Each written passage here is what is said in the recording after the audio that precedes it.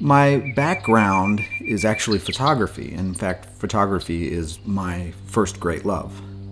I began taking photographs in high school, and it's something that I've pursued on and off for the last 30 or so years. When I began writing, I suppose my photographic sensibilities ended up filtering into the way I write. I can't say that I was intentionally trying to do this, uh, but in hindsight, it's fairly obvious. There are many reasons why people take photographs, but more often than not, it's to capture a moment in time.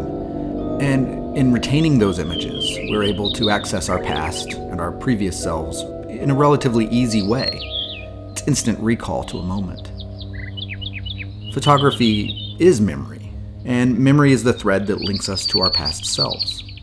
This was the theme of A Slight Trick of the Mind, and this is often what appeals to me about photography, too.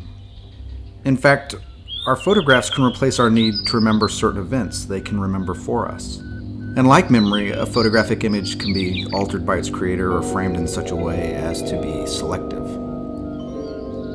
In that regard, I suppose both photography and memory can captivate us with revised truths, which is also a theme in the book. It can captivate us with singular viewpoints, independent of the event itself. Photography and memory uh, can be expressions of just downright wishful fantasies. It is true I have looked back on photographs I've taken and not recalled specifically when I took them or why I took them. But I can usually access something about the image that makes me realize it is mine.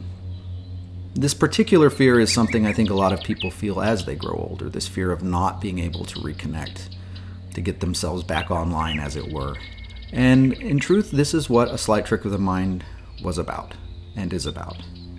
It is about what happens to memory when it becomes frayed or when it becomes uh, gradually inaccessible. And it's a novel about the fear of losing touch with oneself when those memories start fading away.